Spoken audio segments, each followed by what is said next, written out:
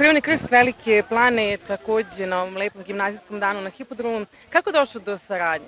Pa svake godine na poziv gimnazije dolazimo ovde e, da prezentujemo aktivnosti Crvenog krsta.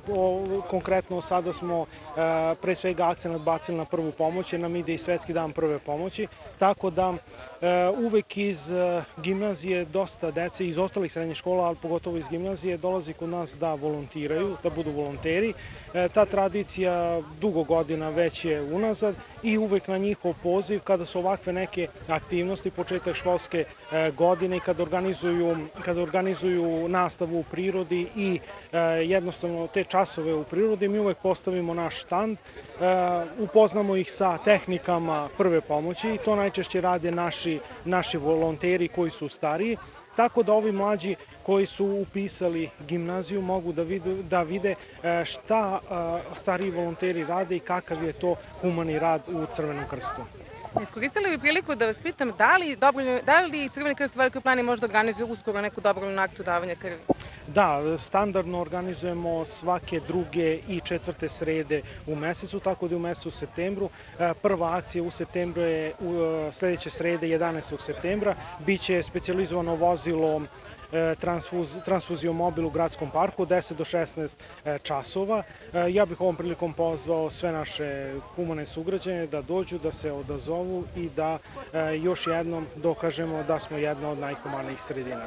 Evo sad će jedna od naših starih volonterk, volonterki da e, nam prezentuje e, pre svega tehnike pružanja prve pomoći kada se radi o srčanom zastoju i e, pružanju prve pomoći kardiopulmonalnom reanimacijom, odnosno KPR-om. To je jedna od metoda u pre svega prvoj pomoći kojom vršimo znači oživljavanje. Uvek se, uvek se kreće prvo sa masažom srca, pa onda posle idemo na veštačko disanje.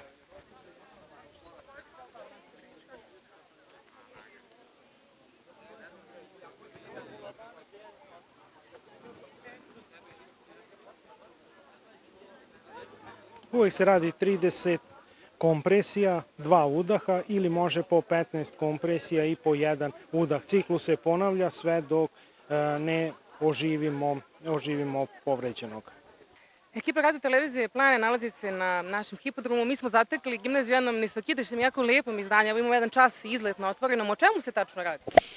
Radi se o jednoj dobroj praksi, e, da se na početku školske godine malo neformalno družimo, da se malo posvetimo pešačenju, dakle zdravom životu, da ovde malo jedemo, da se bavimo nekim aktivnostima. Vidite da smo u društvu konja, ja u stvari ne znam, jesu oni još tu ili su otišli, a u svakom slučaju smo ih jahali i bili su tu sa nama. I tako malo lopte, malo i jedna poprilično ozbiljna stvar.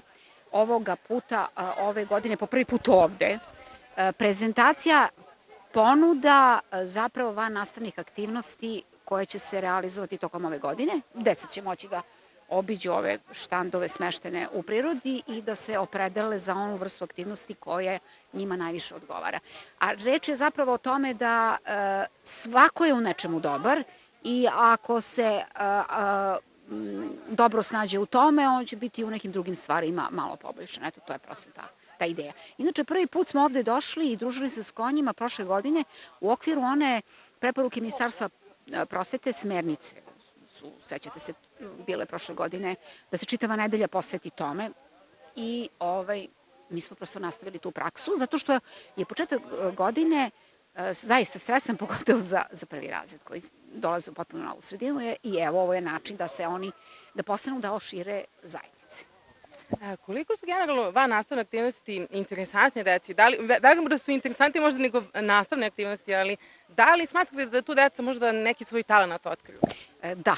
I meni je žao što možda nije ni širi, e, šira ponuda, ona je najšira u osnovnoj školi i to je negde i prirodno. A mi se kao malo uzbiljujemo kada e, odemo u višu školu, u više, više ovaj, stepene obrazovanja, kao što je srednja škola, ali ja ne, negde sad opet kao psiholog mislim da treba da nastavimo da se igramo i najveće dostignuće i u nauci se ostvaruju kada su ljudi povezani sa, sa, sa igrom iskonskom u sebi, tako da ne mora da bude mnogo ozbiljeno to sve, ja mislim da je to jako bitno i što je uključenost dece u to veća, to je i korisnije i za nas kao školu, a naravno i za svakog pojedinca uključenog u te aktivnosti. Hvala vam. Da li ste li možeš nešto da dodate? Pa ne samo da vas pozdravim i da eto, obećam da će ovo biti tradicija i nadalje. Imamo prilike da razgovaramo i sa profesorom psihologije u Velikoplanjskoj gimnaziji. Recite mi, da li postoji možda neka novina koju ste uveli, a da se tiče vašeg predmeta i konkretno psihologije? E, naravno da postoji, prosto praksa i život su nam nametnuli potrebu za psihološkom, socijalnom podrškom porodici, e, mladima, e, roditeljima koji su u nedoumici da donesu neke važne odluke i onda smo odlučili da otvorimo, da otvorimo jedan psihološki klub e, koji će biti jedan sat nedeljno gde ću ja dežurati kao profesor psihologije e, i psihoterapeut i psihološki savjetnik i gde će svi oni koji imaju potrebu da razgovaraju, kao što vidite tamo postoji psihološki kutak za tvoj težak trenutak, da je okej okay da neko bude tužan, da neko ne može u trenutku da prati nastavu, da neko ima problem kući, da ima potrebu s nekim da porazgovara i da može da dobije neki realnu e, orijentaciju na koji način da taj svoj problem reši.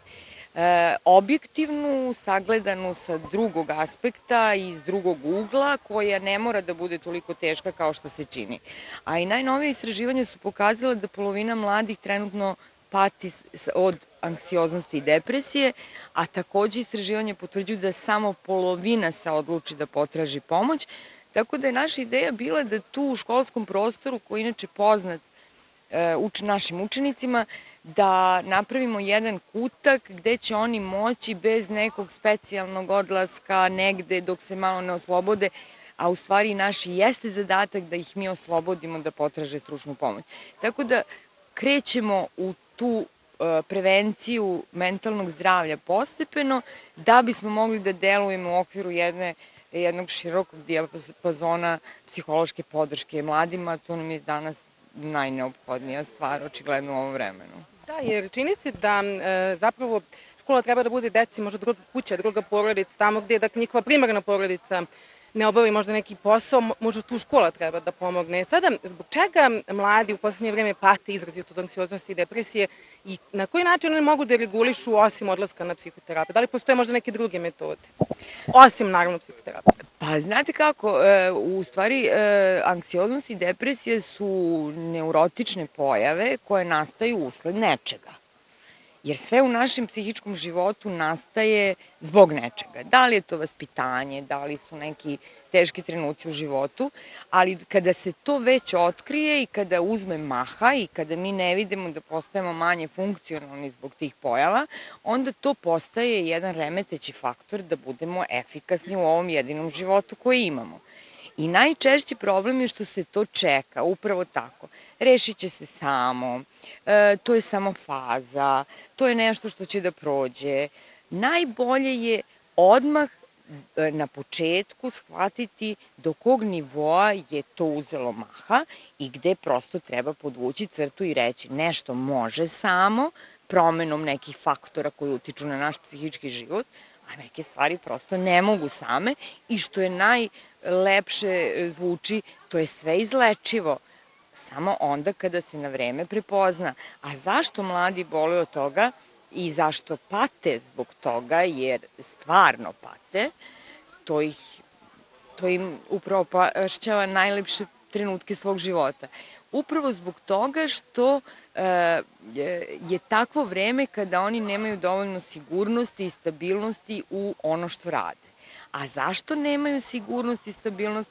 Pa verovatno mi matori smo tu zatajili. I za kraj ovog e, lepog razgovora mi samo recite koliko je sušti, u, u suštini stresan polazak u prvi razred, e, naročito srednje škole i na koji način deca, eto, možda i ovim druženjem mogu da smanje taj stres? Pa ovo jeste jedan od načina za, za upoznavanje. E, svaka promena za decu je stres. A pogotovo promena kada napuštate svoju lokalnu sredinu, svoje odeljenje, svoju zgradu fizički i ulazite u jednu novu zgradu sa nekim drugim ljudima za koje niste sigurni kako će da reaguje na vašu ličnost. I to se osjeća i u prvom razredu i kad uđete, onako možete da sečete na kriške neku napetost i osjeća se tu ko ima više slobode, ko osjeća dominaciju, ko se osjeća inferiorno. E sad na nama je i na psihološkoj delatnosti i na svim nama profesorima koji smo završili te neke edukacije, da pokušamo da to proredimo, da te rezove napravimo i da prosto svi stanemo istu kolonu na istom zadatku, uz kulturno, vaspitano, nebahato ponašanje i da postanemo jedna produktivna sredina koja će da gaji buduće akademce i buduće školovane samostalne ljude. Na današnjem gimnazijskom danu u prirodi evo predstavljen je i naučni štand. Koji su svi izazovi s kojima se susrećete kada predajete ovako, ove naučne i predmete, naročito fiziku? Da li postoje neki određeni izazovi? Ako ja u gimnaziji pored fizike predajem i izborni paket primenjene nauke. Tako da kada je reč o fizici, deca uglavnom zaziru, izbegavaju, ne razumeju, smatraju je teškom, ali kada dođemo na časove da kažemo, primenjenih nauka, onda shvate da u suštini i nauka, i, kao i fizika, kao i sve prirodne nauke, su nešto što im treba u životu, što ih zaokružuje i što ih stalno, što ja kažem, kad ih dobro ne poznaju, sapliće u životu i zato treba da ih savladaju. Baš zbog toga mi smo ove godine odlučili da prvi put počnem sa radom naučni klub. Znači, od ove godine počinjemo jer nam je cilj da nauku približimo deci, da shvate da kroz nauku mogu da se igraju, kroz tu igru mogu da nauče ovaj, kažem, sve prednosti, ali i neke imane koje nam priroda pruža. I cilj naučnog kluba je da kroz razne naučne kafe, tribine, na teme koje su zanimljive deci koji ih interesuju, na spajanje nauke sa umetnošću, jer u poslednje vreme smo svedoci da se često snimaju filmovi na temu naučnu, pa imamo Oppenheimera, imamo čuvare, formule, eto, znači to su direktno filmovi koji su inspirisani fizikom, pa čak i dečije knjige 20.000 milja pod morom koje ovaj Žil Verne kad je napisao knjigu, ovaj niko od nas tada nije sanjao da će podmornica biti naša svakidašnjica. Tako da kroz neke zanimljive teme, interesantne teme koje sami biraju učenici, planiramo da im približimo nauku i samim tim e, suvoparna predavanja, dosadna predavanja učinimo zanimljivim i dane u školi da im budu lepši i zanimljiviji i da iz ove škole izađu bogatiji znanjem. Ovo je zaista interesantna stvar, budući da većina dece možda ima nekih, bar u moje vreme, imala nekih poteškoća sa jel te, e, tim nekim e, prirodnim naukama, više stremala ka društvenim naukama. A samo me za kraj recite, e, da li vidite, tači sigurno da postoje, ali koja je po vašem mišljenju spona između prirodnih i društvenih nauka? Pa znate kako, ja nisam sklona da nauke delim na prirodne i društvene. Za mene su sve nauke i stalno kada počinjem ovaj, e, deci da pričam i približavam fiziku, ja kažem, naši najveći filozofi koji se smatraju društvenjacima su tvorci mnogih prirodnih zakona. Tako da kažem, ako se vratimo u staru Grčku, matematičari, filozofi, prirodnjaci i društvenjaci su se bavili naukom i nisu odvajali. Tako da mislim da mi, ni mi danas ne trebamo da pravimo društvena prirodna nauka, znači za mene je sve to isto. I jedno bez drugog ne može. Koje aktivnosti su danas eh, predstavljene sa vaše strane na ovom izuzetnom danu? Evo ovde ćete videti plakate koje su učenici radili u okviru redovnih časova srpskog jezika i književnosti i, i časova rada bibliotečke sekcije.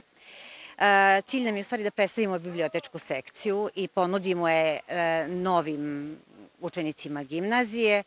E, sekcija obeležava značajne datume vezane za istoriju srpske književnosti, vodi đake u Beogradu pozorište, na sajam knjiga, na predstave amaterskih pozorišta u gradu, eto to joj je delatnost.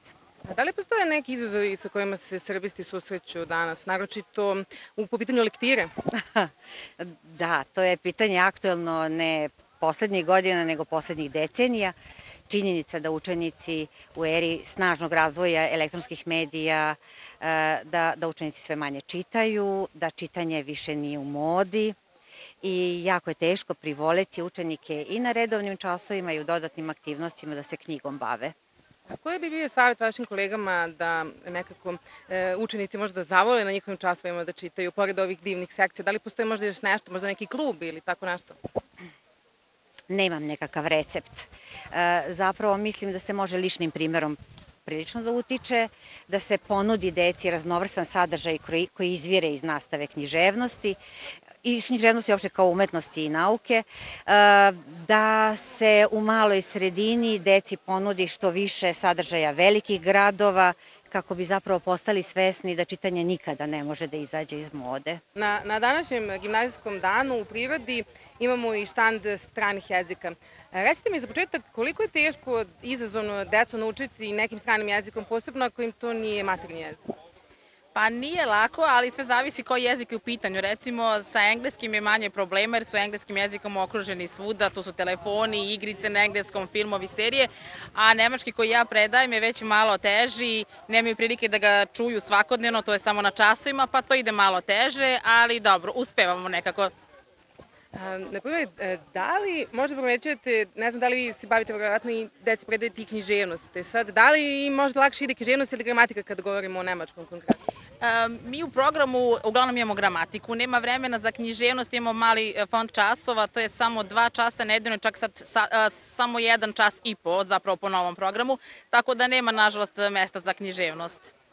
I za kraj mi, e, recite, šta biste možda poručili neki, eto, prvacima sada koji nas slušaju gledaju, koji su upisali gimnaziju ili bilo koju srednju školu? Da li imate neku poruku za njih? A, poruka je samo da slušaju na času, da budu prosto prisutni tu i a, fizički, ali i, i psihički, da prate i bit će im lakše onda da, da savladaju gradivo. Samo je neophodno da, da budu tu i da prate nastavu i to je sve. Koji ste razred za početak mi recite? Prvi. Prvi. I evo već 5 dana ili koliko već ima da ste krenuli u školu, e, kakvi su utisci? Odlični. Odlični. Samo odlični, znači ne postoji ništa ni, va, ni manje ni više od toga. Da li postoji neki predmet koji ti se posebno... Postoji još više, mnogo je dobro ovde. Preporučujem svima da upišu gimnaziju. A šta ti se konkretno sviđa da, u današnjem danu? Da li ste to možda radili već u osnovnoj školi? Ne. A šta ti se konkretno dopada što se tiče danas? Pa što smo otišli da prošetamo i što ne sedimo u četiri zida. Znači, mnogo je bolje u stvari... Da. I imamo najboljeg direktora na svetu. Znači, mnogo je bolje imati časove u prirodi, ili tako? Da. I da je svaki dan ovako? Da. A dobro, evo, za kraj mi samo reci, da li ima neki predmet koji ti se može najviše svijeta? Likovno. Budući da ste vi e, četvrta godina gimnazije, kakvi su utisci za ove tri godine? Kakve ste utis, utiske ponele sada? Pa imamo dosta lepih iskustava, izleta, ekskurzija, jednodnevnih i bilo je baš lepo ove da, tri godine. Da, ovo nije prvi put da smo ovde, već druga godina kako smo na hipodromu i stvarno je super, svi se druže i tako. U vašeg školovanja, da li postoje ne, neki možda poseban trenutak koji vam se eto, dopao? Možda neko druženje ili generalno neki predmet? Pa ima dosta druženja, uglavnom pamtimo te ekskurzije na koje smo išli, uh, jednodnevni izleti, ovde kada dođemo, onda dosta sekcija i nekih događaja u školi koje obeležavamo. Pa jednostavno što smo upoznali nove drugare, spreteljili smo se i on, imamo neko iskustvo za buduće. Da li ćete možda neki fakultet ili neku uh, višu školu upisati dalje? Da li planirate? Da, da. Hoćemo naravno, da. Da, da. Koje ste odeljenje? A, drugo jedan. Drugo jedan, znači vi ste druga godina. Da. I kakav je vaš utisak u prvoj godini gimnazije? Pa stvarno smo upoznali dosta ljudi, dosta društva i stvarno mnogo, mnogo lepo druženje, mnogo aktivnosti imamo, mnogo više nego u osnovnoj školi. A kada govorimo o današnjem danu, da li postoji neka aktivnost koja ti se najviše dopala? Pa, na primjer, jahanje konja i sve je lepo, stvarno. Da li si prvi put imala priliku da jašeš konje? Nije prvi put, ali je bilo lepo. I kakav je utisak, pošto eto ja nikad nisam imala na primjer prilike da se popnem na konja, kak, da li tu možda ima neki adrenalin, kako ti se to čini? Pa ja sam uvek volila to, tako da baš je lepo bilo. Znači, dopada vam se sve. A recite mi, šta biste možda nekim novim drugarima poručili, evo koji su prvaci, koji vas možda sad gledaju? Šta biste im poručili konkretno što se tiče gimnazije? Pa da, da je mnogo lepo, stvarno imam dosta druženja, dosta izleta, mnogo se Srbije upoznaje kroz gradove i ekskurzije i tako. Kako su tvoje iskustva, evo, imaš, ima već godinu dana kako si upisao gimnaziju, Ka, kako je tvoje viđenje svega toga? Pa gimnazija je dobra škola, upisuju uglavnom odlični učenici i postoji opšti smer u gimnaziji, opšti sam i upisao, sad jedno odeljenje u druge godine i meni se sviđa, zanimljivo je. Ovako ima razni programi. A, a, a, da li postoji neki predmet koji ti je možda omiljen? Pa ja volim istoriju, volim fizičko. Evo, recite mi za početak, koje si ti godina druga godina. I kakve su tvoji, tvoja neka zapažanja? Šta ti se najviše dopalo u tokom prve godine? E, Pa dopalo mi se što nije samo učenje, učenje, već imamo i razne aktivnosti. E, Na primjer, imamo često izlete. Imamo takođe svakog meseca organizovani neki sport u kome se takmičimo. E, idemo i na ekskurzije i tako, baš je lepo. A da li postoji neki predmet koji ti je zapao za oko onako? Pa volim najviše geografiju. Šta ti tu konkretno privlači? Pa volim, e, volim, e, volim da o, o prirodi učim i o gradovima, o državama, zemljama.